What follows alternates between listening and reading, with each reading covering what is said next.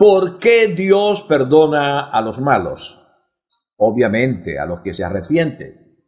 Hay gente que a veces se preocupa y ve personas que se han convertido al Evangelio, pero vienen de una vida oscura, pero los ve ahora alabando a Dios y disfrutando del perdón de Dios. Y se preguntan, ¿por qué Dios perdona a los malos?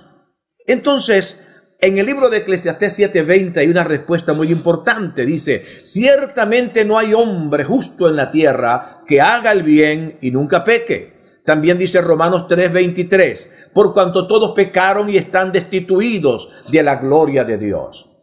Honestamente hablando, todos somos malos, todos somos pecadores.